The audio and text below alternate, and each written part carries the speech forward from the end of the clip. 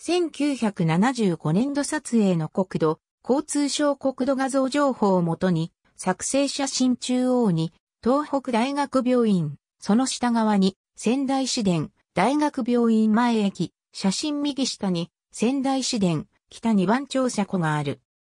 1984年度撮影の国、仙台市都心部から見た北西にある仙台市交通局本庁と西公園通を挟んで向かい側に位置し、交通局東北大学病院前バス停を併設する。私立大学以外の大学病院の中で最大の病床数を要する東北大学病院に隣接する市バスのターミナルとしても機能している。仙台市電が営業していた頃は、同市電の北二番庁舎庫として利用されていた。同市電廃止後の1976年4月、仙台市営バスの車庫として設置され、1996年に定前寺通り車庫を統合している。その際に、定前寺通り市役所前、発着路線を当初発着に変更された。主に交通局東北大学病院前、発着便の折り返し待機場所として使用されている。霞の名営業所、東仙台営業所、川内営業所、長町営業所の各所の車両がで入庫する。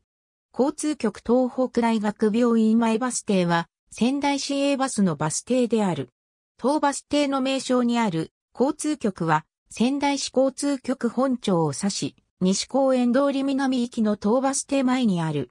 他方、東北大学病院は西公園通北端にあり、正門まで約200メートル、外来診療棟正面玄関まで約300メートルと若干距離がある。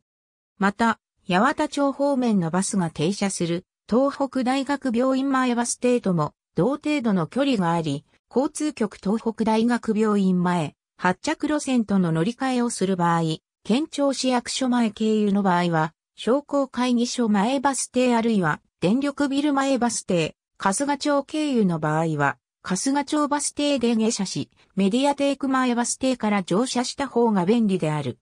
1.2番乗り場発着の各線はすべて仙台駅を経由するが、系統番号が200から500番台は、電力ビル前、経由、600.700番台は、広瀬通駅経由となる。日中の電力ビル前経由は、青葉通りで渋滞に巻き込まれることが多く、広瀬通駅経由の方が先に、仙台駅へ到着することが多い。なお、交通局本庁受付が乗車券窓口を兼務しており、定期乗車券発行、アイクス化発売と、庁舎来訪者の接遇を行う。本庁ロビーは、会長時間に限り、待合室としても利用できる。当バス停は、ゾーン料金制の100円パックの対象区域外なので、注意が必要。仙台市都心部の道路が、イベント等で通行止めになる場合、当バス停発着のバスに一部変更が出るので注意が必要である。以下、仙台七夕花火祭り及び仙台七夕祭りでの例を示す。仙台七夕花火祭、編集仙台七夕祭り、編集。ありがとうございます。